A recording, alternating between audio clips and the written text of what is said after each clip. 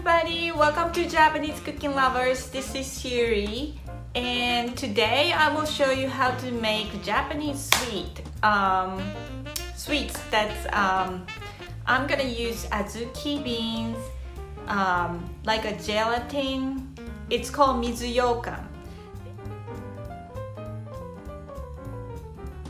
they have yokan and mizuyokan yokan is more thicker and Mizuyokan is more likely jello type. It's softer.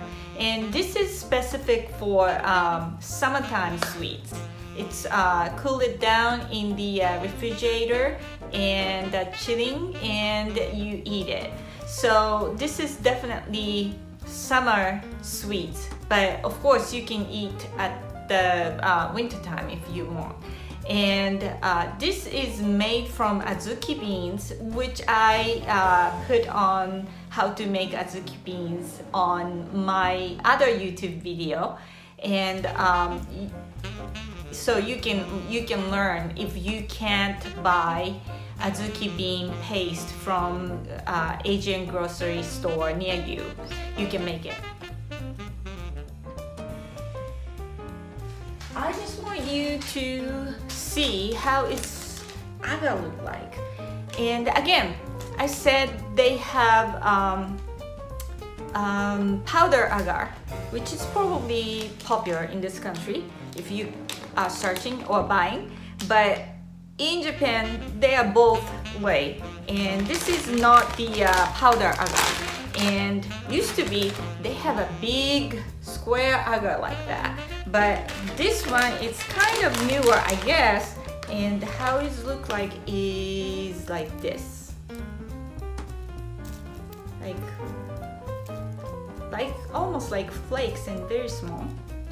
And maybe if you like you are a big fan of Japanese food and Japanese sushi fan.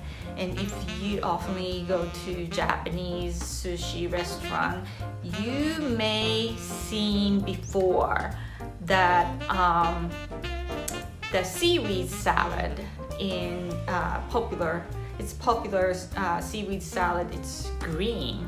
Um, they use uh, food dye. It's very green. But um, they are agar in it and I think I'm gonna put that picture on here right now. But um, that is agar. You may you may not questioning about what the hell is this is. That's agar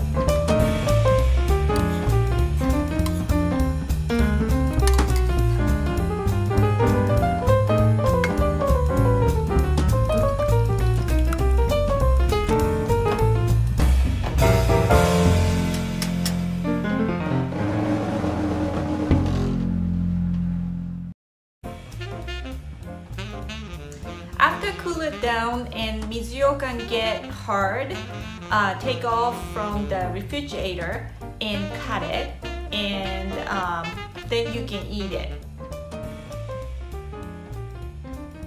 So this is how to make Mizuyokan from scratch.